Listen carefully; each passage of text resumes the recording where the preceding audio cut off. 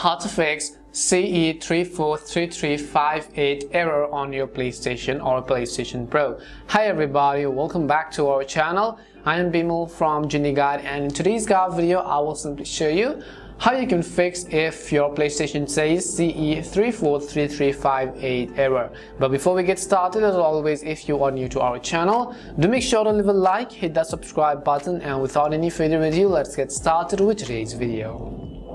So first of all, what this error generally means is that you have to understand that this isn't a software related issue. According to PlayStation or according to the official PlayStation Network site themselves, they mentioned that the CE34335 error occurs when your PlayStation is not being able to detect a hard drive or a HDD drive on your PlayStation disk. So which means that your hard drive could have been corrupted or it's simply you might need to replace your hard drive. So it could be a couple of reasons why. So when you turn on your PlayStation, you suddenly see that kind of error. That is because your PlayStation is not being able to read the drive as well, which is on your PlayStation.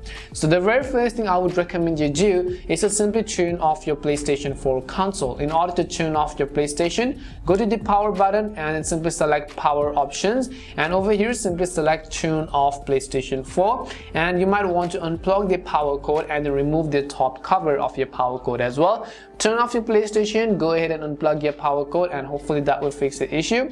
And other thing you also want to do is just simply check whether your HDD is properly installed. For example if you recently replaced your hard drive you have to make sure that the technician or just anyone who just fixed your PlayStation actually installed the hard drive properly onto your PlayStation or your PS4 console. Check if that is not the issue as well. And if you are still experiencing issues the HDD could be corrupted or faulty. And or your console may be in need some some service and in that case the final result is to simply take it to a nearby repair store or to a nearby repair station so go ahead and see however one thing I might also just want you to do is to simply go to settings and you can simply reset your PlayStation go to initialization and I will select initialize PS4 and you could simply do a full wipe and then simply confirm the changes by selecting initialize.